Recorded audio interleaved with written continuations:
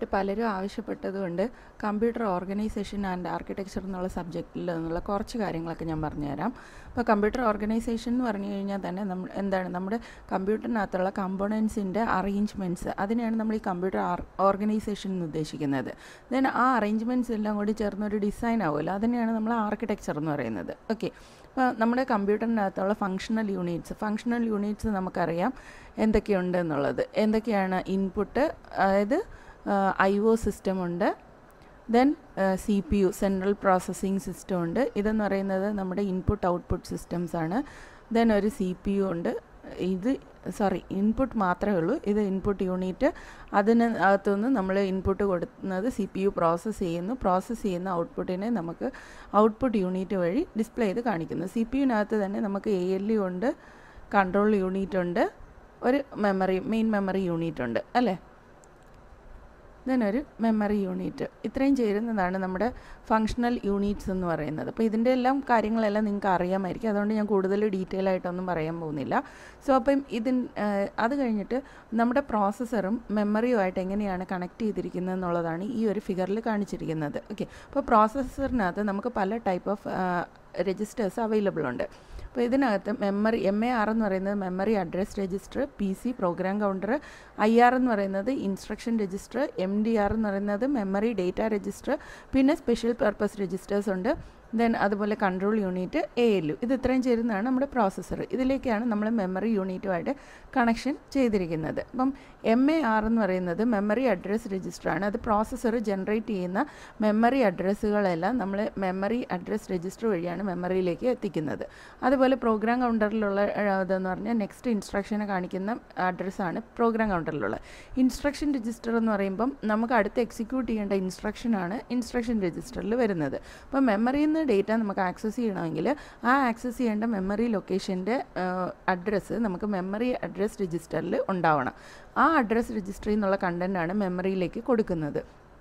Then അവിടെ നിന്ന് ഒരു read or write operation perform ചെയ്ത് കഴിഞ്ഞാൽ അത് നമുക്ക് വരുന്നത് എം ഡി ആറിലാണ് memory data register read operation ആണെങ്കിൽ അവിടെ നിന്നുള്ള ഡേറ്റയെ നമ്മൾ മെമ്മറി ഡേറ്റ രജിസ്റ്ററിലേക്ക് സ്റ്റോർ ചെയ്യും. അതെല്ലാം റൈറ്റ് ഓപ്പറേഷൻ ആണെങ്കിൽ നമുക്ക് റൈറ്റ് ചെയ്യേണ്ട ഡേറ്റ നമ്മൾ എം ഡി ആറിൽ ലോഡ് ചെയ്തിട്ട് വേണം മെമ്മറി അഡ്രസ് രജിസ്റ്ററും കൊടുത്ത് കൺട്രോൾ സിഗ്നൽ പ്രൊവൈഡ് ചെയ്യാനുള്ളത്. ആണോ റൈറ്റ് ആണോ എന്നൊക്കെ ഉള്ളത് കൺട്രോൾ സിഗ്നൽ നമ്മൾ പ്രൊവൈഡ് ചെയ്യണം. അതിനനുസരിച്ചാണ് ഇവിടെ മെമ്മറി ഓപ്പറേഷൻ നടക്കുന്നത്. ഓക്കെ അപ്പോൾ ഈ ഓരോ രജിസ്റ്റേഴ്സിന്റെ ഇമ്പോർട്ടൻസ് ജസ്റ്റ് ഒന്ന് മനസ്സിലാക്കിയിരിക്കുക. ദെൻ അത് കഴിയുമ്പോൾ നമ്മൾ മെമ്മറിയെക്കുറിച്ച് പറയുമ്പോഴാണെങ്കിൽ മെമ്മറി എന്ന് പറയുന്നത് ഇതുപോലെ പല എന്താണ് സെൽസ് ആയിട്ടാണ് നമുക്ക് ഒരു ലോജിക്കൽ വിഷ്വലൈസേഷൻ ഇങ്ങനെയാണ് വരുന്നത്. അപ്പോൾ ഇതിൽ നമ്മൾ എന്താണ് എൻ ബിറ്റ്സ് ആയിരിക്കും നമുക്ക് ഒരു പെർട്ടിക്കുലർ ലൊക്കേഷനിൽ സ്റ്റോർ ചെയ്യാൻ പറ്റുന്നത്. അതിനെ നമ്മൾ ഒരു വേർഡ് എന്നാണ് പറയുന്നത്. ഈ എൻ ബിറ്റ്സിനെയാണ് നമ്മളൊരു വേർഡ് എന്ന് പറയുന്നത്. ഓക്കെ ഈ വേർഡ് എന്ന് പറയുന്നത് സിക്സ്റ്റീൻ മുതൽ സിക്സ്റ്റി ഫോർ വരെ ബിറ്റ്സ് ആവാം. സിക്സ്റ്റീൻ മുതൽ സിക്സ്റ്റി ഫോർ ബിറ്റ്സ് വരെയുള്ള കോമ്പിനേഷൻസിനെയാണ് നമ്മൾ വേർഡ് എന്ന് പറയുന്നത്. അപ്പോൾ ഇവിടെ ആദ്യത്തെ സെല്ലിൽ നമ്മൾ ഫസ്റ്റ് വേർഡ് സേവ് ചെയ്യുന്നു രണ്ടാമത്തേൽ സെക്കൻഡ് വേർഡ് അങ്ങനെ കണ്ടിന്യൂസ് ആയിട്ട് സ്റ്റോർ ചെയ്ത് വന്ന് ith word then last word ഈ ഒരു രീതിയിലാണ് നമുക്ക് മെമ്മറി അറേഞ്ച്മെന്റ് വരുന്നത്. ഓക്കെ അപ്പോൾ ഇപ്പോൾ തേർട്ടി ടു ബിറ്റ്സ് ആണ് എൻ ബിറ്റ്സ് എന്നുള്ള തേർട്ടി ടു ബിറ്റ് എന്ന് പറഞ്ഞു കഴിഞ്ഞാൽ ഇതിന്റെ അർത്ഥം എന്താ? ഈ മെമ്മറി എന്ന് പറയുന്നത് തേർട്ടി ടു ബിറ്റ് വേർഡാണ് സ്റ്റോർ ചെയ്തിരിക്കുന്നത് എന്നുള്ളതാണ്.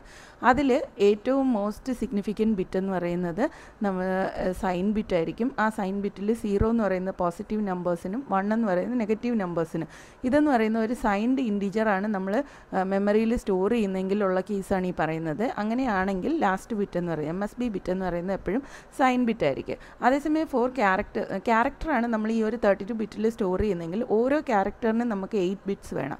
അങ്ങനെയുള്ള നാല് ബിറ്റ്സ് നമുക്ക് ഒരു വേർഡായിട്ട് സ്റ്റോർ ചെയ്യാൻ പറ്റും. ഓക്കെ ഇങ്ങനെയാണ് നമ്മൾ ഇൻഡിജേറിനെയും ക്യാരക്ടേഴ്സിനെയൊക്കെ സ്റ്റോർ ചെയ്യുന്നത്. ഇതാണ് മെമ്മറിയുടെ ഒരു മെയിൻ കൺസെപ്റ്റ് എന്ന് പറയുന്നത്.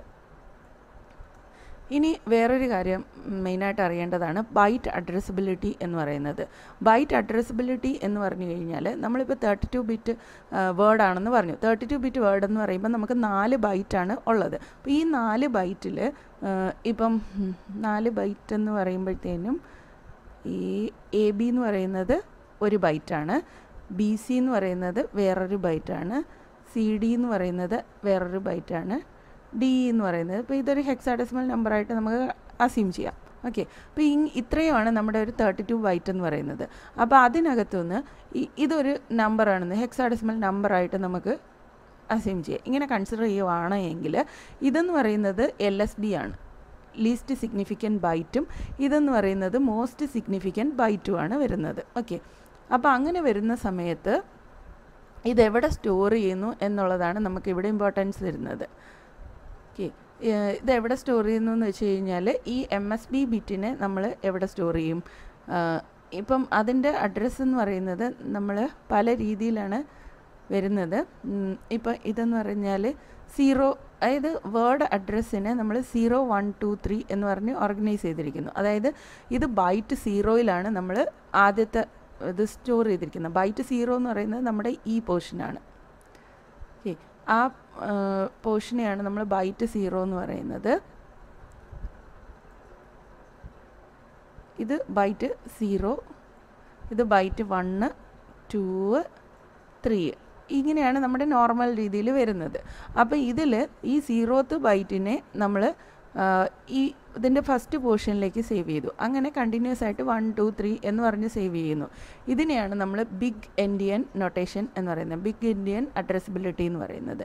അതേസമയം നമ്മുടെ ഈ ഡേറ്റയെ അതേ ഓർഡറിൽ തന്നെ നമ്മൾ സേവ് ചെയ്യുവാണെങ്കിൽ അതിനെയാണ് ലിറ്റിൽ എൻഡിയൻ ഫോർമാറ്റ് എന്ന് പറയുന്നത്. ഇങ്ങനെ രണ്ട് type of byte addressability formats ആണ് നമ്മൾ യൂസ് ചെയ്യുന്നത്. അത് നിങ്ങൾ പ്രത്യേകം ഓർത്തിരിക്കുക. ബിഗ് എൻഡിയനും ലിറ്റിൽ എൻഡിയനും അതായത് നമ്മുടെ മെമ്മറി അഡ്രസ്സിൽ ലീസ്റ്റ് അഡ്രസ്സിനകത്ത് നമ്മൾ ലീസ്റ്റ് എൽ എസ് ബി ഐറ്റ് അതായത് ലീസ്റ്റ് സിഗ്നിഫിക്കന്റ് ബൈറ്റാണ് യൂസ് ചെയ്യുന്നതെങ്കിൽ അത് ബിഗ് എൻഡിയൻ ആണ് അടുത്ത് വരുന്ന സമയത്ത് മോസ്റ്റ് സിഗ്നിഫിക്കന്റ് ബൈറ്റാണ് നമ്മുടെ ലീസ്റ്റ് മെമ്മറി അഡ്രസ്സിൽ യൂസ് ചെയ്യുന്നതെങ്കിൽ അത് ലിറ്റിൽ എൻഡിനായിട്ടാണ് പറയുന്നത്. ഓക്കെ. ഇനി അടുത്തൊരു ഇമ്പോർട്ടന്റ് ടോപ്പിക്കാണ് പൈപ്പ് ലൈനിങ് എന്ന് പറയുന്നത്. പൈപ്പ് ലൈനിങ് എന്ന് പറഞ്ഞു കഴിഞ്ഞാൽ നമ്മൾ ഒന്നിലധികം ഇൻസ്ട്രക്ഷൻസിനെ ഓവർലാപ്പ് ചെയ്ത് എക്സിക്യൂട്ട് ചെയ്യുന്ന ആ ഒരു പ്രോസസ്സിനെയാണ് നമ്മൾ പൈപ്പ് ലൈനിങ് എന്ന് പറയുന്നത്. ഓക്കെ അപ്പോൾ അങ്ങനെ വരുന്ന സമയത്തെന്ന് പറഞ്ഞു കഴിഞ്ഞാൽ നമുക്ക് നോർമലി ഒരു ഇൻസ്ട്രക്ഷൻ എക്സിക്യൂഷൻ എന്ന് പറയുന്നത് നമ്മളിങ്ങനെ നാല് സ്റ്റേജസ് ആയിട്ടാണ് ഡിവൈഡ് ചെയ്യുന്നത്.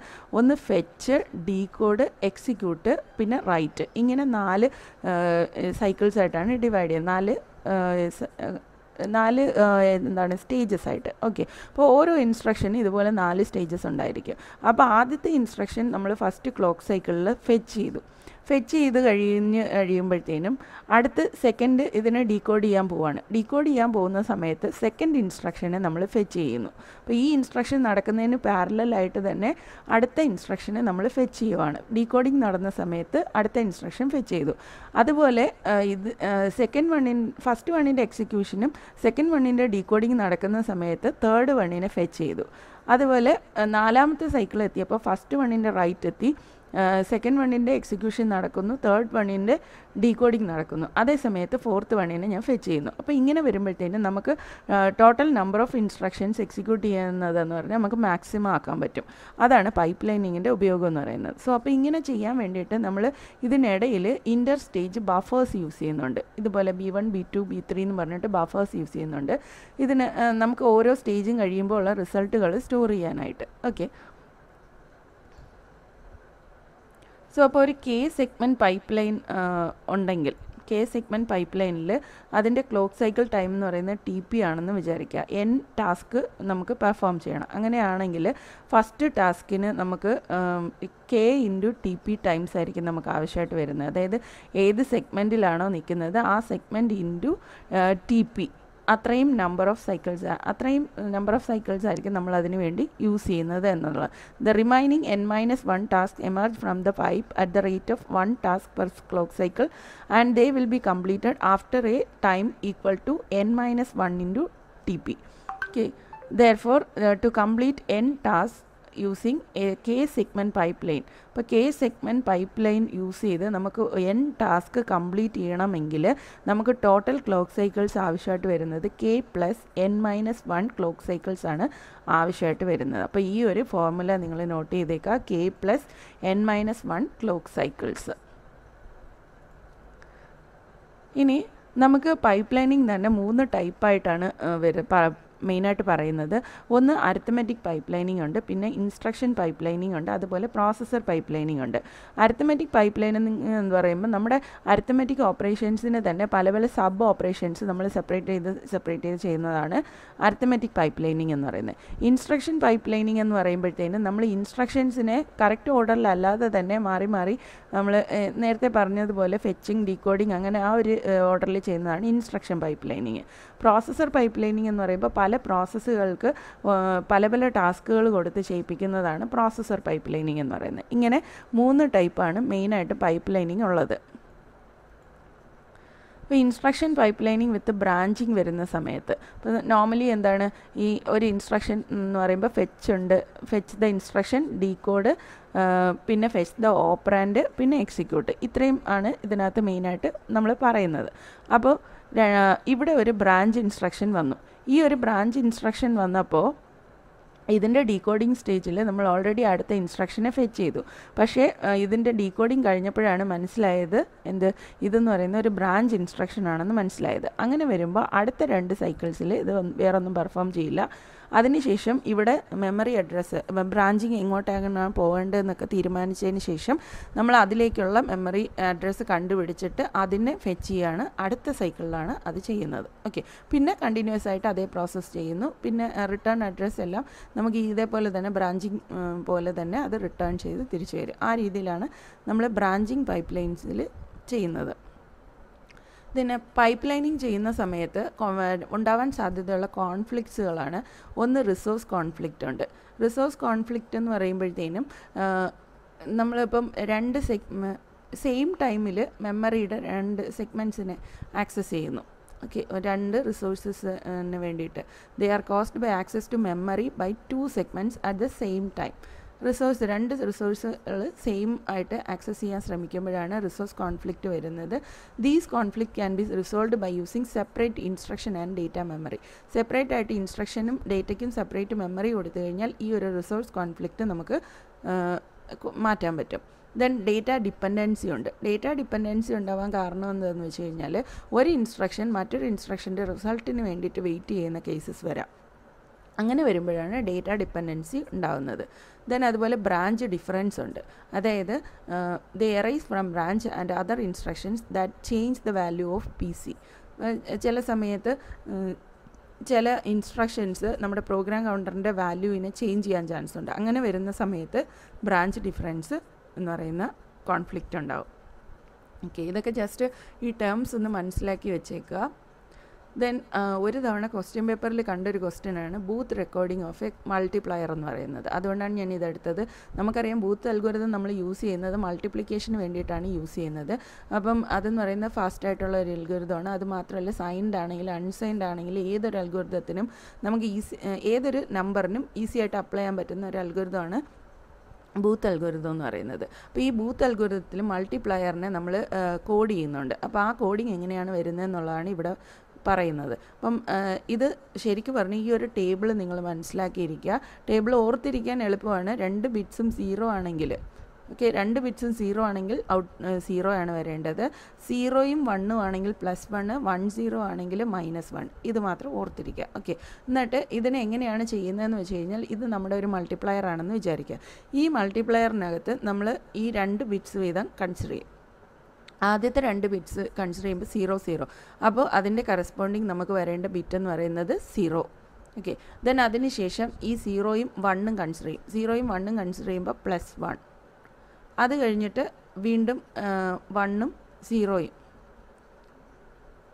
വണ്ണും സീറോയും ദെൻ അതെന്ന് പറയുന്നത് മൈനസ് വൺ ഇങ്ങനെ ഈ ഒരു രീതിയിൽ നമ്മളിതിനെ എന്ത് ചെയ്ത് പോവുകയാണ് ഈ പറഞ്ഞിരിക്കുന്ന ടേബിൾ അനുസരിച്ച് നമ്മളതിനെ കോഡ് ചെയ്ത് പോവുകയാണ് അപ്പോൾ ഈ ഒരു കോഡിങ്ങിനെയാണ് നമ്മൾ ബീത്ത് ബൂത്ത് റീകോഡിംഗ് ഓഫ് മൾട്ടിപ്ലയർ എന്ന് പറയുന്നത്. ഓക്കെ അപ്പോൾ ഇതൊന്ന് ഓർത്തിരിക്കുക. കാരണം ഒരു തവണ ഒരു തവണ ഞാൻ ക്വസ്റ്റ്യൻ പേപ്പറിൽ കണ്ടു.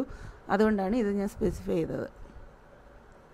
ദെൻ അടുത്തതെന്ന് പറഞ്ഞു കഴിഞ്ഞാൽ ഡേറ്റ ട്രാൻസ്ഫർ ഓപ്പറേഷൻസിൽ നമ്മൾ യൂസ് ചെയ്യുന്ന രജിസ്റ്റേഴ്സിനെ കുറിച്ച്. ഡേറ്റ ഇൻ രജിസ്റ്റർ ഉണ്ട് ഡേറ്റ ഔട്ട് രജിസ്റ്റർ ഉണ്ട്. ഇതെല്ലാം നമ്മൾ ഡേറ്റ സേവ് ചെയ്യാൻ വേണ്ടിയിട്ടാണ് യൂസ് ചെയ്യുന്നത്. ദെൻ അതിനകത്ത് ഒരു സ്റ്റാറ്റസ് രജിസ്റ്റർ പറയുന്നുണ്ട്. സ്റ്റാറ്റസ് ആൻഡ് കൺട്രോൾ രജിസ്റ്റർ ഉണ്ട്. അപ്പോൾ ഇതിനകത്ത് ഞാൻ ഇത് മെയിനായിട്ട് എടുക്കാൻ കാരണം എന്താണെന്ന് വെച്ച് കഴിഞ്ഞാൽ ഈ നാല് ടേംസിന് വേണ്ടിയിട്ടാണ്. ഡി ഐ ആർ ക്യു എന്ന് പറയുമ്പോൾ ഡിസ്പ്ലേ ഇൻട്രപ്റ്റ് റിക്വസ്റ്റ് എന്നുള്ളതാണ്. ഓക്കെ. അപ്പോൾ സ്റ്റാറ്റസിൽ ഡിസ്പ്ലേ ഇൻട്രസ്റ്റ് ആണ് വരുന്നതെങ്കിൽ അത് സ്പെസിഫൈ ചെയ്യാൻ വേണ്ടി യൂസ് ചെയ്യുന്ന ബിറ്റാണ് ഡി ഐ ആർ ക്യു അതുപോലെ കീബോർഡ് ഇൻട്രപ്റ്റ് ആണെങ്കിൽ K I R Q keyboard എനേബിളിന് വേണ്ടി K E N D E N എന്ന് പറയുമ്പോൾ ഡി ഡിസ്പ്ലേ എനേബിൾ. ഓക്കെ. അതല്ല ഇത് രണ്ടും കൺട്രോൾ രജിസ്റ്ററിൽ വരുന്നതാണ്. മറ്റേതെന്ന് പറയുന്നത് സ്റ്റാറ്റസ് രജിസ്റ്ററിൽ വരുന്നതാണ്. Okay S in S out status flags ആണ് അത് ഡിനോട്ട് ചെയ്യുന്നത്. അപ്പോൾ ഇതിന്റെ എല്ലാം ഫുൾ ഫോംസ് ഒന്ന് നോക്കി വെച്ചാൽ ചിലപ്പോൾ വൺ വേർഡ് ആയതുകൊണ്ട് നമുക്ക് ചോദിച്ചു കൂടായികയില്ല ദെൻ അടുത്ത് പറയുന്നത് എന്ന് പറഞ്ഞാൽ ഇൻട്രപ്സിനെ കുറിച്ചാണ്. ഇൻട്രപ്സ് എന്ന് പറഞ്ഞാൽ നമുക്കറിയാം നോർമൽ സീക്വൻസ് ഓഫ് എക്സിക്യൂഷനിൽ നിന്ന് നമുക്ക് എന്തെങ്കിലും ഡീവിയേഷൻ വരുന്ന സമയത്ത് അതായത് ഒരു ഡിവൈസ് എന്തെങ്കിലും റിക്വസ്റ്റ് ചെയ്യുമോ അങ്ങനത്തെ കേസസ് വരുമ്പോഴാണ് നമ്മൾ ഇൻട്രപ്സ് യൂസ് ചെയ്യുന്നത്. അപ്പോൾ ഇൻട്രപ്സ് എന്ന് പറഞ്ഞു കഴിഞ്ഞാൽ ഒരു ഇൻട്രപ്റ്റ് വന്നു കഴിഞ്ഞാൽ പ്രോസസ്സർ ഉടനെ എന്ത് ചെയ്യും? അതിന്റെ കറസ്പോണ്ടിങ് ആയിട്ടുള്ള ഇൻട്രപ്റ്റ് സർവീസ് റുട്ടീനെയാണ് കോൾ ചെയ്യുന്നത്. ഇൻട്രപ്റ്റ് സർവീസ് റുട്ടീൻ എന്ന് പറഞ്ഞാൽ ആ പർട്ടിക്കുലർ ഇൻട്രപ്റ്റിന് കറസ്പോണ്ടിങ് ആയിട്ട് നമുക്ക് എന്ത് ഓപ്പറേഷനാണോ ചെയ്യേണ്ടത് അത് എഴുതിയിരിക്കുന്ന ആ ഒരു ഫംഗ്ഷനെയാണ് നമ്മൾ ഇൻട്രപ്റ്റ് സർവീസ് റുട്ടീൻ എന്ന് പറയുന്നത്. ഓക്കെ അപ്പോൾ ഇതിപ്പോൾ ഇത് നമ്മളൊരു പ്രോസസ്സർ ഇത് ഈ ഒരു പ്രോഗ്രാം റൺ ചെയ്തുകൊണ്ടിരിക്കുന്ന സമയത്ത് ഇവിടെ എത്തിയപ്പോൾ ഒരു ഇൻട്രപ്റ്റ് റിക്വസ്റ്റ് വന്നു. ഈ ഇൻട്രപ്റ്റ് റിക്വസ്റ്റ് വന്നാൽ ഉടനെ തന്നെ അതിൽ അതിൽ നിന്ന് നമ്മൾ എന്ത് ചെയ്യുക ഐ എസ് ആറിന്റെ അഡ്രസ്സ് ഐഡന്റിഫൈ ചെയ്തിട്ട് നേരെ ആ പ്രോഗ്രാം ആയിരിക്കും നമ്മൾ എക്സിക്യൂട്ട് ചെയ്യുന്നത്. എക്സിക്യൂട്ട് ചെയ്തിട്ട് തിരിച്ച് നേരെ എവിടെ നിന്നാണോ പോയത് അവിടേക്ക് തിരിച്ചു വരും. ഇങ്ങനെയാണ് നമ്മൾ ഇൻട്രപ്റ്റ് സർവീസ് റുട്ടീൻ വർക്ക് ചെയ്യിപ്പിക്കുന്നത്. ഇനി അതിൽ തന്നെ ഒരു പ്രത്യേകം കാറ്റഗറി ഓഫ് ഇൻട്രപ്റ്റ് ആണ് വെക്റ്റേർഡ് ഇൻട്രപ്റ്റ് എന്ന്. പല ടൈപ്പ് ഓഫ് ഇൻട്രപ്റ്റ്സ് ഉണ്ട്. അതിൽ മെയിനായിട്ട് നോട്ട് ചെയ്യേണ്ട ഒരു ഇൻട്രപ്റ്റ് ആണ് വെക്റ്റേർഡ് ഇൻട്രപ്റ്റ് എന്ന് പറയുന്നത്. ഈ വെക്റ്റേഡ് ഇൻട്രപ്റ്റ് എന്ന് പറഞ്ഞു കഴിഞ്ഞാൽ ഈ ഏത് ഡിവൈസ് ആണോ ഈ ഇൻട്രപ്റ്റിന് വേണ്ടി റിക്വസ്റ്റ് ചെയ്യുന്നത് അത് സ്വന്തമായിട്ട് തന്നെ ഒരു സ്പെഷ്യൽ കോഡും കൂടി അയച്ചു കൊടുക്കും. ഞാനാണ് ഇൻട്രപ്റ്റ് ചെയ്തതെന്നും പറഞ്ഞുകൊണ്ട്. എന്നിട്ട് ആ സ്പെഷ്യൽ കോഡിനകത്ത് തന്നെ നമുക്ക് ഐ എസ് ആറിന്റെ സ്റ്റാർട്ടിംഗ് അഡ്രസ്സും കൂടി ആ ഡിവൈസ് പറഞ്ഞു കൊടുക്കും. അപ്പോൾ ആ ഡിവൈസ് തന്നെ സെൽഫായിട്ട് എന്താണ് ഐഡന്റിഫൈ ചെയ്യാൻ വേണ്ടിയിട്ട് പ്രോസസ്സറിന് സ്പെഷ്യൽ കോഡ് സെൻഡ് ചെയ്യും. ഐ എസ് ആറിന്റെ സ്റ്റാർട്ടിംഗ് അഡ്രസ് സെൻഡ് ചെയ്യുകയും ചെയ്യുന്ന ഒരു ടൈപ്പ് ഓഫ് ഇൻട്രപ്റ്റാണ് വെക്റ്റേർഡ് ഇൻട്രപ്റ്റ് എന്ന് പറയുന്നത്. ഓക്കെ അപ്പോൾ ഇതിന്റെ കോഡ് ലെങ്ത് എന്ന് പറയുന്നത് ഫോർ മുതൽ എയ്റ്റ് ബിറ്റ്സ് വരെയാണ് ആവാൻ സാധ്യതയുള്ളത്. ഇത്രയും കാര്യങ്ങൾ മെയിനായിട്ട് വെക്റ്റേർഡ് ഇൻട്രപ്റ്റിന്റെ കേസിൽ ഓർത്തിരിക്കുക. ദെൻ അതുപോലെ ഡി എം എ എന്ന് പറഞ്ഞു കഴിഞ്ഞാൽ ഡയറക്റ്റ് മെമ്മറി ആക്സസ് എന്നുള്ളതാണ്. ഡയറക്റ്റ് മെമ്മറി ആക്സസ് എന്ന് പറയുമ്പോൾ നമ്മൾ പ്രോസസ്സറിന്റെ ഇന്റർവെൻഷൻ ഇല്ലാതെ തന്നെ നമുക്ക് memory read write operations perform ചെയ്യാൻ വേണ്ടിയിട്ടാണ് നമ്മൾ ഡി എം എ യൂസ് ചെയ്യുന്നത്. അപ്പോൾ അതിനുവേണ്ടി D M A controller use ചെയ്യാറുണ്ട്. ആ ഡി എം എ കൺട്രോളർ ഇന്റർഫേസിൽ നമുക്ക് പല ടൈപ്പ് ഓഫ് രജിസ്റ്റേഴ്സ് ഉണ്ട്. സ്റ്റാറ്റസ് ആൻഡ് കൺട്രോൾ രജിസ്റ്റർ ഉണ്ട്. ദെൻ സ്റ്റാർട്ടിംഗ് അഡ്രസ് രജിസ്റ്റർ ഉണ്ട്. വേർഡ് കൗണ്ട് ഉണ്ട്. ഇതെല്ലാം തന്നെ നമുക്കുണ്ട്. അപ്പോൾ അതിനകത്ത് ഇൻട്രപ്റ്റ് റിക്വസ്റ്റ് പ്രൊവൈഡ് ചെയ്യുക ഇൻട്രപ്റ്റ് എനേബിൾ പ്രൊവൈഡ് ചെയ്യുന്നു. ഡൺ എന്ന് പറയുന്ന ഒരു ബിറ്റുണ്ട് ഡേറ്റ ട്രാൻസ്ഫർ കഴിഞ്ഞു കഴിഞ്ഞാൽ ആ ബിറ്റിനെ വണ്ണാക്കി കൊടുക്കാം. ദെൻ റീഡ് ആണോ റൈറ്റ് ആണോ ചെയ്യേണ്ടതെന്ന് സ്പെസിഫൈ ചെയ്യുന്നത്. ഇതൊക്കെ ചേരുന്നതാണ് സ്റ്റാറ്റസ് ആൻഡ് കൺട്രോൾ രജിസ്റ്റർ എന്ന് പറയുന്നത്. ഓക്കെ ഇനി ഇതിനകത്ത് സൈക്കിൾ സ്റ്റീലിംഗ് എന്ന് പറയുന്ന ഒരു ടേം ഉണ്ട്. സൈക്കിൾ സ്റ്റീലിംഗ് എന്ന് പറഞ്ഞാൽ ഡി എം എക്ക് നമുക്ക് പ്രോസസർ റിക്വസ്റ്റിനേക്കാളും കൂടുതൽ പ്രയോറിറ്റി ഉണ്ട്. പിന്നെ അത് മാത്രമല്ല മെമ്മറി ആക്സസിന് വേണ്ടിയിട്ടുള്ള സൈക്കിൾസ് എല്ലാം ജനറേറ്റ് ചെയ്യുന്ന പ്രോസസ്സറാണ് അപ്പോൾ പ്രോസസ്സർ ജനറേറ്റ് ചെയ്യുന്ന ആ സൈക്കിൾസ് പ്രോസസ്സറിന്റെ കയ്യിൽ നിന്ന് മേടിച്ച് ഡി എം എ കൺട്രോളർ പ്രോസസ്സറിന്റെ യൂസ് ഇല്ലാതെ തന്നെ എന്ത് ചെയ്യുന്നു? മെമ്മറി ആക്സസ് നടത്തുവാണ്. അപ്പോൾ അതിനെയാണ് നമ്മൾ സൈക്കിൾ സ്റ്റീലിംഗ് എന്ന് പറയുന്നത്. ഓക്കെ അപ്പോൾ അവിടെ പ്രോസസ്സറല്ല വർക്ക് ചെയ്യുന്നത്. പകരം ഡി എം എ കൺട്രോളറാണ് വർക്ക് ചെയ്യുന്നത്. പക്ഷേ ഈ ഡി എം എ കൺട്രോളറിന് ആവശ്യമായിട്ടുള്ള ആ സൈക്കിൾസ് ജനറേറ്റ് ചെയ്ത് കൊടുക്കുന്നത് പ്രോസസ്സർ തന്നെയാണ്. ഓക്കെ ഇനി ഇതിനകത്ത് ഡി എം എ കൺട്രോളറിന് ബേസ്റ്റ് മോഡുണ്ട് ബേസ്റ്റ് മോഡെന്ന് പറഞ്ഞു കഴിഞ്ഞാൽ നമ്മുടെ ബ്ലോക്ക് ഓഫ് ഡേറ്റ കംപ്ലീറ്റ് ആയിട്ട് ഒറ്റയടിക്ക് ഡേറ്റ ട്രാൻസ്ഫർ ചെയ്യുന്നതാണ്. Okay D M A controller burst മോഡിലാണെങ്കിൽ ഇടയ്ക്ക് ഇൻട്രപ്റ്റ് ഇല്ലാതെ തന്നെ ബ്ലോക്ക് ഓഫ് ഡേറ്റയെ ട്രാൻസ്ഫർ ചെയ്യുന്നതിനെയാണ് ബേസ്റ്റ് മോഡ് എന്ന് പറയുന്നത്. ഓക്കെ ദെൻ ഇനി നമുക്ക് റാമിന്റെ കേസിലേക്ക് പോകാം റാൻഡം ആക്സസ് മെമ്മറി ഇതിനകത്ത് നമുക്ക് രണ്ട് ടൈപ്പാണ് മെയിനായിട്ട് വരുന്നത്. എസ് റാമും ഉണ്ട് ഡി റാമും ഉണ്ട്. എസ് റാമാണ് നമ്മൾ ക്യാഷ് മെമ്മറിയിൽ യൂസ് ചെയ്യുന്നത്. ഈ എസ് റാം എന്ന് പറയുന്നത് ഫാസ്റ്റർ മെമ്മറിയാണ് പക്ഷേ വളരെ എക്സ്പെൻസീവാണ് അതുകൊണ്ട് തന്നെ നമ്മൾ സ്മാളർ സൈസിലേ യൂസ് ചെയ്യാറുള്ളൂ. അതേസമയം ഡി റാം എന്ന് പറയുന്നത് സ്ലോവറാണ് ചീപ്പറാണ് ലാർജറാണ് അപ്പോൾ ഡി റാംസ് നമ്മൾ യൂസ് ചെയ്യുന്ന സമയത്ത് റിഫ്രഷ് ഓവർ ഹെഡ് യൂസ് ചെയ്യണം ഈ റിഫ്രഷ് ഓവർ ഹെഡ് ഉണ്ട്. അപ്പോൾ ഡി റാം ആണ് നമ്മൾ മെയിൻ മെമ്മറിയിൽ യൂസ് ചെയ്യുന്നത്. ക്യാഷ് മെമ്മറിയിൽ യൂസ് ചെയ്യുന്നത് എസ് റാമും ഡി റാം നമ്മൾ മെയിൻ മെമ്മറിയിലാണ് യൂസ് ചെയ്യുന്നത്. അപ്പോൾ റിഫ്രഷ് ഓവർ ഹെഡ് എന്ന് പറഞ്ഞു കഴിഞ്ഞാൽ ഇതിന്റെ കണ്ടന്റിനെ ഒരു പീരിയോഡിക്കലി നമ്മൾ എപ്പോഴും അപ്ഡേറ്റ് ചെയ്തുകൊണ്ടേ ഇരിക്കണം റിഫ്രഷ് ചെയ്തുകൊണ്ടേ ഇരിക്കണം അതിനെയാണ് നമ്മൾ റിഫ്രഷിങ് എന്ന് പറയുന്നത്. അപ്പോൾ ആ ഒരു ടൈം അതിന് റിഫ്രഷ് ചെയ്യേണ്ട ആ ഒരു ടൈമിനെയാണ് നമ്മൾ റിഫ്രഷ് ഓവർ ഹെഡ് എന്ന് പറയുന്നത്. ഓക്കെ അപ്പോൾ അതിന് എക്സാമ്പിൾ പറയുമ്പോൾ ഇപ്പോൾ ഒരു എസ് ഡി റാമിനകത്ത് നമുക്ക് eight K rows of memory ഉണ്ടെന്ന് വിചാരിക്കുക. എയ്റ്റ് കെ എന്ന് പറയുമ്പോൾ eight thousand one ninety two rows അല്ലെങ്കിൽ സെൽസ് ഉണ്ട്. അതിൽ നാല് ക്ലോക്ക് സൈക്കിൾസ് നമുക്ക് ഓരോ റോസും ആക്സസ് ചെയ്യണമെങ്കിൽ നാല് ക്ലോക്ക് സൈക്കിൾസ് ആണ് ആവശ്യമായിട്ട് വരുന്നത്.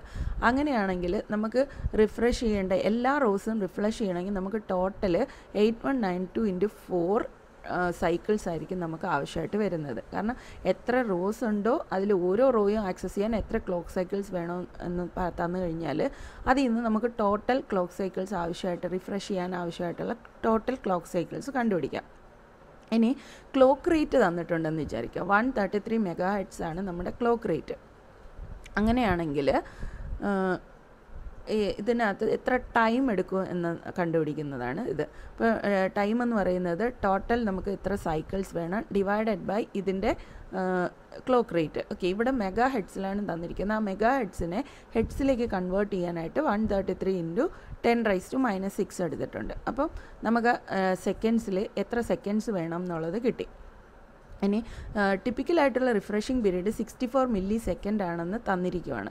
അങ്ങനെയാണെങ്കിൽ അതിന്റെ റിഫ്രഷിംഗ് ഓവർഹെഡ് എന്ന് പറയുന്നത് point two four six divided by sixty four ആണ്. Okay point two four six ഇവിടെ പോയിന്റ് ടു ഫോർ സിക്സ് വരാൻ കാരണം എന്തായിരുന്നു? ഇവിടെ മില്ലി സെക്കൻഡാണ് തന്നിരിക്കുന്നത്. അതിനെ സെക്കൻഡിലേക്ക് മാറ്റിയിരിക്കുകയാണ് ഓക്കെ അപ്പം ഇതിന്റെ ഓവർ ഹെഡ് എന്ന് പറയുന്നത് നമുക്ക് ഇതായിരിക്കും കിട്ടുന്നത്. സോ ഇതാണ് ടോട്ടൽ ടൈം നമുക്ക് ആക്സസ് ചെയ്യാനുള്ള ടോട്ടൽ ടൈം എന്ന് പറയുന്നത്. ഓക്കെ ഇതാണ് അതിന്റെ റിഫ്രഷിങ് ഓവർ ഹെഡ് ടൈം എന്ന് പറയുന്നത്. ഇതുപോലെയുള്ള ക്വസ്റ്റ്യൻസ് വരാനുള്ള സാധ്യതയുണ്ട്. ജസ്റ്റ് അതൊന്ന് മനസ്സിലാക്കിയിരിക്കുക. ഇനി അടുത്ത് പറയുന്നത് ക്യാഷ് മെമ്മറിയെക്കുറിച്ചാണ് ക്യാഷ് മെമ്മറി നമ്മൾ ലൊക്കാലിറ്റി ഓഫ് റെഫറൻസിനെ ബേസ് ചെയ്തിട്ടാണ് ക്യാഷ് മെമ്മറി എന്ന് പറയുന്നത്. ഇതിന്റെ ബിഹൈൻഡ് പ്രിൻസിപ്പിൾ എന്ന് പറയുന്നത് ലൊക്കാലിറ്റി ഓഫ് റെഫറൻസ് ആണ്. എന്ന് പറഞ്ഞാൽ ഇത് രണ്ട് ടൈപ്പ് ഉണ്ട്. ടെമ്പോറലും ഉണ്ട് സ്പേഷ്യലും ഉണ്ട്. അതായത് നമ്മൾ ഫ്രീക്വന്റ് ആയിട്ട് ആക്സസ് ചെയ്യുന്ന കണ്ടന്റ് അത് ആ ഒരു കൺസെപ്റ്റിലാണ് നമ്മൾ ഈ ലൊക്കാലിറ്റി ഓഫ് റെഫറൻസ് പറയുന്നത്. ഇപ്പോൾ ടെമ്പോറൽ എന്ന് പറയുമ്പോൾ ഏത് ടൈമിൽ അതായത് ഓരോ പീരീഡ് ഓഫ് ടൈമിൽ ഏതൊക്കെയാണ് നമ്മൾ കൂടുതൽ ആക്സസ് ചെയ്തത് എന്നുള്ളത് നോക്കുന്നതാണ് ടെമ്പോറൽ സ്പേഷ്യൽ എന്ന് പറയുമ്പോൾ ഒരു particular space of block of മെമ്മറിക്കകത്ത് നിന്ന് ഏതൊക്കെ പോർഷനാണ് നമ്മൾ ആക്സസ് ചെയ്തത് നോക്കിയെടുക്കുന്നതാണ് സ്പേഷ്യൽ അപ്പോൾ അങ്ങനെയുള്ളതിനെ നമ്മൾ ക്യാഷ് മെമ്മറിയിൽ സ്റ്റോർ ചെയ്യും.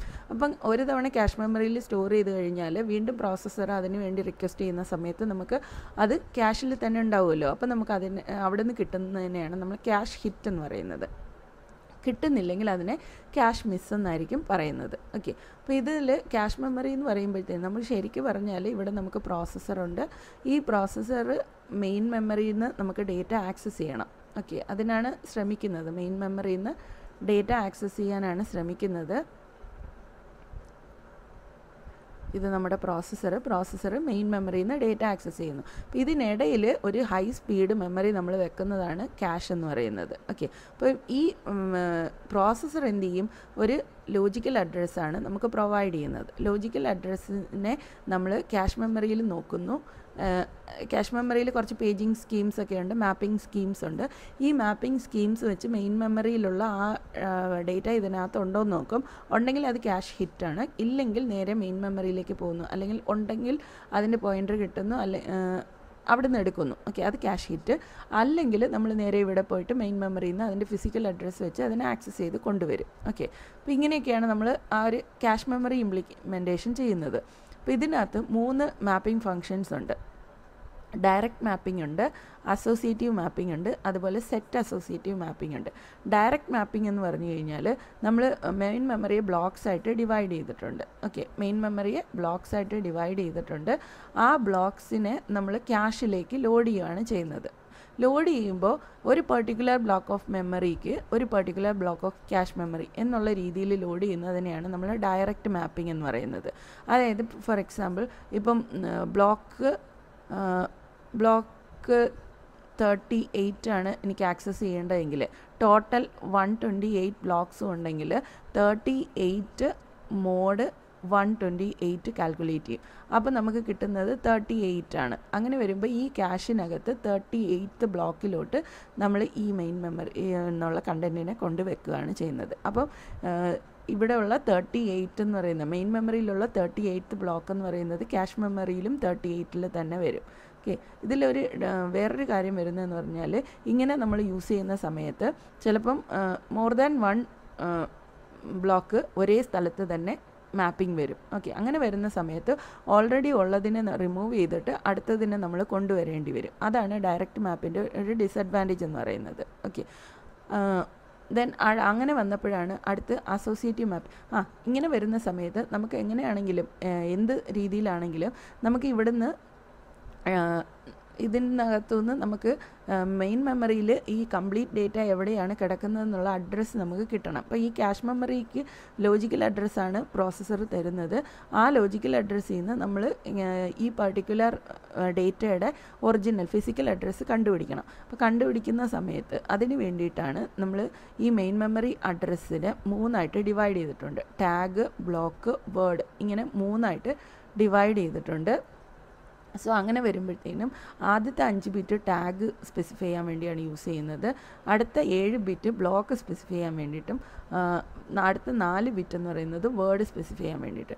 ടാഗ് എന്ന് പറയുമ്പോഴത്തേനും ഇതിന്റെ ഫിസിക്കൽ മെമ്മറിയുടെ അഡ്രസ്സിന്റെ പോർഷനെയാണ് നമ്മൾ ടാഗായിട്ട് യൂസ് ചെയ്യുന്നത്. ലീസ്റ്റായിട്ട് വരുന്ന ബിറ്റ്സിനെ അഞ്ച് ബിറ്റ്സിനെ നമ്മൾ ഇതിന്റെ ടാഗായിട്ട് യൂസ് ചെയ്യും. ബ്ലോക്ക് എന്ന് പറയുമ്പോൾ ഇതിനകത്ത് ഏത് ബ്ലോക്കാണോ ആ ബ്ലോക്കിനെ ഐഡന്റിഫൈ ചെയ്യാൻ വേണ്ടിയിട്ട്. ഇപ്പോൾ ഇവിടെ വൺ ട്വന്റി സെവൻ അല്ലെങ്കിൽ വൺ ട്വന്റി എയ്റ്റ് ബ്ലോക്ക്സ് ഉണ്ടെന്നാണ് ഇവിടെ പറഞ്ഞിരിക്കുന്നത് ഈ എക്സാമ്പിളിൽ അങ്ങനെയാണ് എങ്കിൽ വൺ ട്വന്റി എയ്റ്റ് ബിറ്റിനെ നമുക്ക് ആക്സസ് ചെയ്യാനായിട്ട് വൺ ട്വന്റി എയ്റ്റ് ബിറ്റിനെ റെപ്രസെന്റ് ചെയ്യാനായിട്ട് നമുക്ക് എത്ര? ടു പവർ എത്ര നമ്പർ ഓഫ് ബിറ്റ്സ് വേണോ? അതാണ് നമുക്കിവിടെ ബ്ലോക്ക് സൈസ് ബ്ലോക്ക് ബിറ്റ്സ് ആയിട്ട് വരുന്നത്.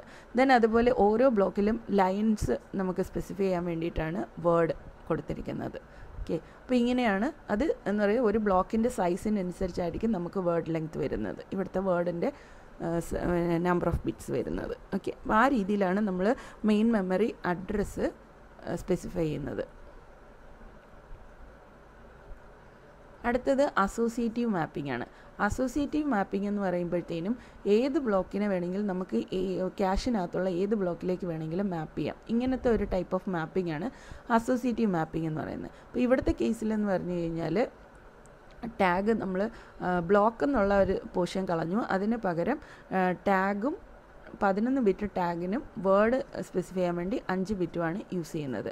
അപ്പോൾ ഏത് ബിറ്റ് ബ്ലോക്ക് വേണമെങ്കിലും നമുക്ക് എവിടെ വേണമെങ്കിലും ലോഡ് ചെയ്യാം. ലോഡ് ചെയ്തതിന് ശേഷം ഈ ടാഗ് ബിറ്റിൽ അത് വെച്ച് സ്പെസിഫൈ ചെയ്തിരിക്കും. അങ്ങനെയാണ് നമ്മൾ മെയിൻ മെമ്മറി അഡ്രസ്സ് സ്പെസിഫൈ ചെയ്യുന്നത്. സെറ്റ് അസോസിയേറ്റീവ് മാപ്പിംഗ് വരുന്ന സമയത്ത് എങ്ങനെയാണെന്ന് വെച്ച് കഴിഞ്ഞാൽ നമ്മുടെ ബ്ലോക്സിനെ നമ്മളൊരു പെർട്ടിക്കുലർ സെറ്റ്സ് ആയിട്ട് ഡിവൈഡ് ചെയ്യും. ഇപ്പോൾ വൺ ട്വന്റി ഇവിടെ ഇവിടുത്തെ കേസിൽ നമുക്ക് വൺ ട്വന്റി എയ്റ്റ് ബ്ലോക്സ് ആണ് നമ്മുടെ ക്യാഷ് മെമ്മറിയിൽ ഉള്ളത്. അതിനെ നമ്മൾ നാലെണ്ണത്തിന്റെ ഒരു സെറ്റായിട്ട് ഡിവൈഡ് ചെയ്തിരിക്കുകയാണ്. അങ്ങനെ വരുമ്പോൾ ടോട്ടൽ തേർട്ടി ടു സെറ്റ്സ് വരും വൺ ട്വന്റി എയ്റ്റ് ബ്ലോക്സിന് അങ്ങനെ പല സെറ്റുകളായിട്ട് ഡിവൈഡ് ചെയ്തിട്ടുണ്ട്. അപ്പോൾ ഒരു പെർട്ടിക്കുലർ ടാഗ് കിട്ടിക്കഴിഞ്ഞാൽ ആ ടാഗ് ഏത് സെറ്റിലാണ് വരുന്നതെന്ന് നോക്കിയിട്ട് ആ സെറ്റിനകത്തു നിന്ന് നമുക്ക് ഡയറക്റ്റ് ആ വേർഡ് കണ്ടുപിടിച്ചെടുക്കാൻ പറ്റും. അതാണ് സെറ്റ് അസോസിയേറ്റീവ് മാപ്പിംഗ് എന്ന് പറയുന്നത്. അപ്പോൾ ഇത് വെച്ചിട്ടുള്ള ഒരു പ്രോബ്ലം ആണ് അടുത്തത്. അതായത് മെയിൻ മെമ്മറിയിൽ നമുക്ക് two thousand forty eight bytes ഉണ്ട്. ടോട്ടൽ ക്യാഷ് സൈസ് എന്ന് പറയുന്നത് സിക്സ്റ്റി ഫോർ ബൈറ്റ്സ് ആണ്. അതിൽ ടോട്ടൽ എട്ട് ബ്ലോക്കാണ് ഉള്ളതെന്ന് പറയുന്നുണ്ട്. അങ്ങനെ വരുമ്പോൾ how many bits is the tag field of each cache block ഓരോ ക്യാഷ് ബ്ലോക്കിലും നമ്മൾ ടാഗ് ഫീൽഡിൽ എത്ര ബിറ്റ്സ് യൂസ് ചെയ്യും എന്നുള്ളതാണ് ക്വസ്റ്റ്യൻ അപ്പോൾ ഇവിടെ നമുക്ക് ഓരോ അഡ്രസ്സും ഓരോ അഡ്രസ്സിനകത്തും ന്റെ സൈസ് കാൽക്കുലേറ്റ് ചെയ്യണം ആദ്യം. സൈസ് കാൽക്കുലേറ്റ് ചെയ്യാനായിട്ട് ഇപ്പം മെയിൻ മെമ്മറിക്ക് നമുക്ക് ടോട്ടൽ രണ്ടായിരത്തി നാൽപ്പത്തെട്ട് ബൈറ്റ്സ് ഉണ്ട്. അങ്ങനെ വരുമ്പോൾ രണ്ടായിരത്തി നാൽപ്പത്തെട്ട് യുണീക്ക് അഡ്രസ്സുകളാണ് നമുക്കുള്ളത്. അപ്പോൾ ഈ അഡ്രസ്സുകളെ റെപ്രസെന്റ് ചെയ്യാനായിട്ട് നമുക്ക് എത്ര ബിറ്റ്സ് വേണം എന്നുള്ളത് log two of two raise two thousand forty eight ആണ്. അപ്പോൾ ഇതെന്ന് പറയുന്നത് നമ്മൾ കണ്ടുപിടിക്കുന്നത് ടു പവർ എത്ര ബിറ്റ്സ് ആണ് ടു തൗസൻഡ് ഫോർട്ടി എയ്റ്റ് എന്നുള്ളത് വെച്ചിട്ടാണ്. അപ്പോൾ ഇവിടെ ലെവൻ ബിറ്റ്സ് ആണ് ടു തൗസൻഡ് ഫോർട്ടി എയ്റ്റ് അപ്പോൾ നമുക്ക് ഈ ടോട്ടൽ മെയിൻ മെമ്മറിയെ അഡ്രസ്സ് ചെയ്യാൻ വേണ്ടിയിട്ട് നമുക്ക് ലെവൻ ബിറ്റ്സ് ആണ് വേണ്ടി വരുന്നത്. ഇനി നമുക്ക് അതിന്റെ ബിറ്റ് ഓഫ്സെറ്റ് കണ്ടുപിടിക്കണം. ബിറ്റ് ഓഫ്സെറ്റ് എന്ന് പറയുമ്പോഴത്തേനും നമുക്ക് സിക്സ്റ്റി ഫോർ ബൈറ്റ്സ് ആണ് ടോട്ടൽ ക്യാഷ് വരുന്നത്. അതിൽ എട്ട് ബ്ലോക്ക് ഉണ്ട്. അപ്പോൾ ഓരോ ബ്ലോക്ക് എത്രയാണെന്നുള്ളതാണ് അപ്പോൾ ഓരോ ബ്ലോക്കും എട്ട് ബൈറ്റാണ് ഓരോ ബ്ലോക്കിൽ വരുന്നത്. അപ്പോൾ ഓരോ ബ്ലോക്കിനെ റെപ്രസെന്റ് ചെയ്യാനായിട്ട് നമുക്ക് മൂന്ന് അഡ്രസ് ബിറ്റ്സ് ആണ് വേണ്ടി വരുന്നത്. ഓക്കെ ദെൻ ഇനി എന്ന് പറഞ്ഞാൽ സെറ്റ് ഇൻഡെക്സ് കാൽക്കുലേറ്റ് ചെയ്യണം. സെറ്റ് ഇൻഡെക്സിനെ കുറിച്ച് നമുക്ക് ഇവിടെ ഒന്നും പറഞ്ഞിട്ടില്ല. സെറ്റ് അസോസിയേറ്റീവ് ആണെന്നൊന്നും പറഞ്ഞിട്ടില്ലാത്തത് കൊണ്ട് നമുക്ക് ഡയറക്റ്റ് മാപ്പിംഗ് ആയിട്ട് കൺസിഡർ ചെയ്യാം. ഡയറക്റ്റ് മാപ്പിംഗ് കൺസിഡർ ചെയ്യുന്ന സമയത്ത് എട്ട് സെറ്റായിരിക്കും ഇതിനകത്ത് വരുന്നത്. കാരണം അറുപത്തിനാല് ബൈറ്റ് ടോട്ടൽ വരുന്നുണ്ട്. അതിനെ എട്ട് ബ്ലോക്കായിട്ടാണ് പറയുന്നത്. അപ്പോൾ അതിന് ഓരോ ബ്ലോക്കിനെയും നമ്മൾ ഓരോ സെറ്റായിട്ടാണ് പറയുന്നത്. അപ്പോൾ മൊത്തം എട്ട് സെറ്റ് എട്ട് സെറ്റിനെ റെപ്രസെന്റ് ചെയ്യാനായിട്ട് നമുക്ക് വീണ്ടും അവിടെയും മൂന്ന് ബിറ്റ്സ് വേണം. അങ്ങനെ വരുമ്പോൾ total number of tag bits എന്ന് പറയുന്നത് T equal to M minus S minus N ആണ്. ഓക്കെ ഇവിടെ നമ്മൾ കാൽക്കുലേറ്റ് ചെയ്യുന്നത് എം ഇതെന്ന് പറയുന്നത് എൻ ഇത് എസ് അത് മൈനസ് ചെയ്ത് കഴിയുമ്പോൾ അവസാനം കിട്ടുന്ന ഫൈവ് ആണ് നമുക്കിവിടെ ആൻസർ ആയിട്ട് വരുന്നത്. ടാഗ് ബിറ്റ് എന്ന് പറയുന്നത് നമുക്ക് ഫൈവ് ആണ് വരുന്നത്. ഓക്കെ അപ്പോൾ ഇതാണ് ഈ ഒരു മാപ്പിംഗ് വെച്ചിട്ടുള്ള ക്യാഷ് മാപ്പിംഗ് വെച്ചിട്ടുള്ള പ്രോബ്ലം പിന്നെ പേജ് റീപ്ലേസ്മെന്റ് ആണ്. പേജ് റീപ്ലേസ്മെന്റ് നമ്മൾ വോയിസിലൊക്കെ പഠിച്ചതുപോലെ ആ ഒരു കൺസെപ്റ്റ് വെച്ച് തന്നെയാണ്. ഫിഫോയും എൽ ആർ യു ആണ് ഇതിനകത്ത് മെയിനായിട്ട് പറയുന്നത്. ഫസ്റ്റ് ഇൻ ഫസ്റ്റ് ഔട്ടും ലീസ്റ്റ് റീസൺലി യൂസ്ഡ് അപ്പോൾ അതിനകത്ത് hit ratio miss ratio miss ratio ഇങ്ങനത്തെ സംഭവങ്ങളെല്ലാം ഉണ്ട്. അതൊക്കെ വെച്ചിട്ടുള്ള പ്രോബ്ലംസ് നമുക്ക് എക്സ്പെക്റ്റ് ചെയ്യാം. ഇത്രയും കാര്യങ്ങളാണ് ഇതിൽ മെയിനായിട്ട് വരുന്നത്. ഇതൊന്നും കംപ്ലീറ്റ് ആണെന്നൊന്നും ഞാൻ പറയുന്നില്ല. എന്നാലും ടൈം കിട്ടിയതനുസരിച്ച് കുറച്ച് കാര്യങ്ങളൊക്കെ നിങ്ങളിലേക്ക് എത്തിക്കാൻ ശ്രമിച്ചു എന്ന് മാത്രം.